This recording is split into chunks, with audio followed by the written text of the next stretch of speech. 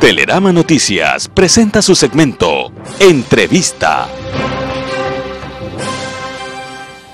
7 de la mañana, 37 minutos. Nuestro siguiente invitado es el presidente ejecutivo de la Unión Nacional de Taxis Ejecutivos del Ecuador, Fernando Valdés, a quien quiero agradecerle. Fernando, ¿cómo le va? Buenos días.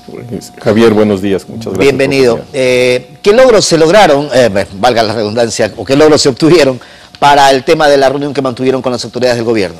Bueno, en la reunión con el señor presidente que tuvimos en, esto, en las semanas anteriores, logramos algunos acuerdos de carácter eh, laboral, de carácter administrativo. el más importante es el tema en lo que tiene que ver con el acuerdo en el cual todos los colaboradores, llámese en choferes, tendrán ya un acuerdo ministerial con el cual la relación laboral será un éxito. Es decir, todas las federaciones, todos los transportistas, hemos mantenido una, una igualdad para que estos colaboradores tengan su contrato de trabajo como dice la ley. Lo que reflejaría entonces seguridad social. Bueno, el tema de seguridad social es la controversia que todavía ese deber nos falta por, cumplir.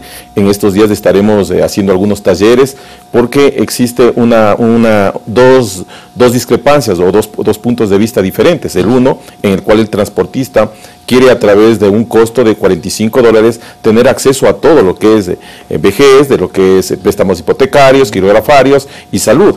Eh, pero también hay una propuesta por parte del señor Richard Espinosa, quien dice que con ese costo tendría que haber un subsidio y el costo mínimo sería de 75 dólares. Esto ha hecho de que las dos propuestas tengamos un poquito de, de altos y bajos, pero que entendemos que en estos meses nosotros nos sentaremos con propuestas para buscar de alguna manera que todos los compañeros cumplan con lo que dice la ley. Un contrato de trabajo pero también hay que tener un seguro social. Ahora, eh, el tema de la seguridad social, eh, Fernando, de alguna u otra manera, hay que buscarle un punto de equilibrio, ¿de acuerdo? Porque ni tan barato ni tan oneroso, digo yo, que podría ser para uno de los eh, del gremio del transporte, ¿no? Entendiendo justamente este tema de, esta rescisión que existe en el país, nosotros lo que estamos presentando es una propuesta que vaya a una media. estamos analizando los temas porque obviamente el tema de este, de este, de este pago debería para nosotros, obviamente el tema de tarifas que se hace 12 años, recién en este año tuvo una nivelación, eh, iría en contra del tema. Pero nosotros no estamos cerrados de esta propuesta y le hemos dicho al señor presidente que lo que nosotros vamos a hacer es buscar una media, como usted lo acaba de decir, de tal manera que nos beneficiemos, pero que tampoco esto sea una carga para el gobierno. Ahora, esa, esa, esa media, eh, a medida que va pasando el tiempo, tras lo que se anunció en su momento, ¿sí se podría consolidar, qué, este año o el próximo? Bueno, creemos que el próximo año, que los talleres avanzarían a partir del mes de diciembre. ¿Y están conscientes dentro del gremio de la situación como tal? Bueno, sí, la mayoría de los compañeros tienen, existe todavía algún temor por el tema de los costos que esto generaría, ¿no es cierto? Si tenemos una cesta de repuestos que subió siempre y jamás bajó, eh, se hablaba de los subsidios que iban a haber en algún momento, pero estas salvaguardias en algún momento hizo de que creciera este costo. Cuando quitaron algunos eh, salvaguardias, como el tema de llantas, eh, lamentablemente nunca bajaron. Es decir, el temor que tiene el transportista, no, nunca bajaron, las llantas se siguieron manteniendo. Hoy debemos celebrar eh, que con el señor presidente llegamos al acuerdo de la importación de llantas exoneradas para importación el directa, eso sí, bueno. Es directa y a través de ustedes. Sí, a través de las uniones, pero que va directamente hacia la persona, es decir, hacia el compañero. Ese es un beneficio que tiene eh, ahorita el compañero transportista de tener llantas. El COMEX ya firmó. Recordemos que antes solamente había para el transporte pesado e interprovincial. El COMEX ahora ha firmado para los transportes de carga liviana, es decir, camionetas, taxis y transporte escolar. Nosotros en estos, eh, en estos días estaremos teniendo una reunión justamente para ver los cupos que serán asignados para cada una de las federaciones. Fernando, ¿y en el tema de las tarifas? Bueno, en el tema de las tarifas es algo, algo contradictorio. Como tienen las transferencias de competencias, la Agencia Nacional lo que ha hecho es emitir una resolución que es un cálculo referencial.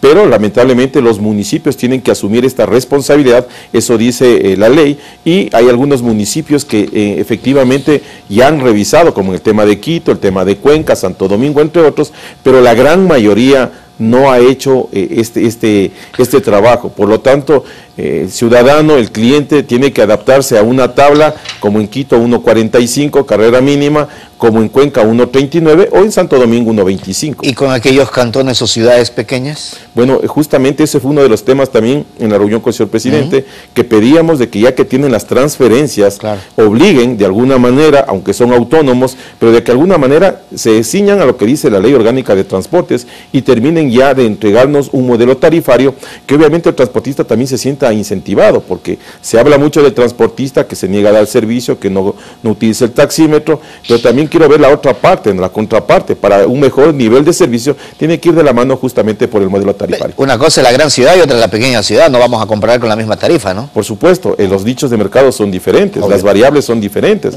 pero también hay que entender que en todo el Ecuador, 12 años nosotros congelado las tarifas, obviamente eso ha hecho de que nuestros compañeros se sientan desesperados, más aún cuando estamos hablando de un contrato de trabajo y, de, y del IES, debería estar eh, como un colchón, si cabe el término, deberíamos tener ya un modelo tarifario justo para la aspiración de nuestros compañeros. ¿Cuál es la posición que ustedes tienen? Y se lo pregunto a usted como presidente ejecutivo de la Unión Nacional de Taxis de nuestro país, con los taxis informales.